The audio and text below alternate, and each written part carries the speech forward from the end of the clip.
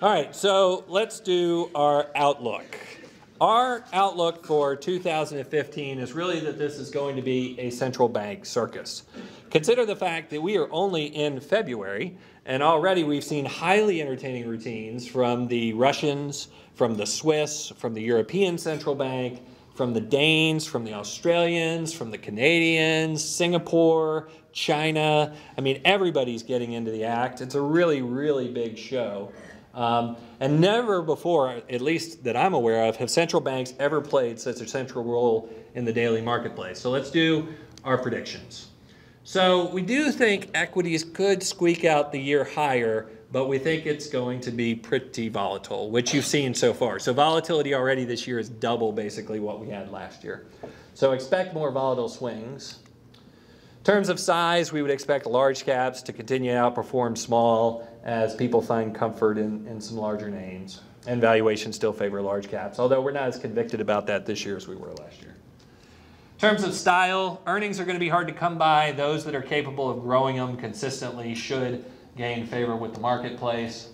In terms of domicile, it's my story and I'm sticking to it. Internationals are going to outperform U.S. equities this year, though I'll add a caveat that you may want to hedge currency, and so we've spent a lot of time working on that change some things in the portfolio to get us more of a hedge position. In terms of U.S. interest rates, my guess is that rates just are going to be lower for longer.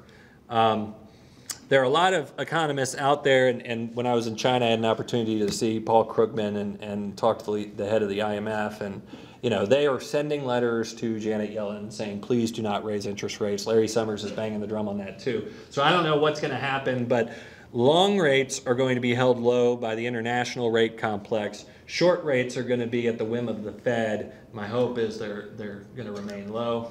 In terms of bonds, low, low rates basically means low returns for bonds. And in terms of the US dollar, modestly higher, um, but there are events that can happen through the course of the year that could change the trajectory in a half an hour. So one of those events is March 18th. Of course, you all know what March 18th is right? Real big day. That's when the U.S. Federal Reserve will come out with their FOMC minutes and will say whether they're going to raise rates or not basically in June.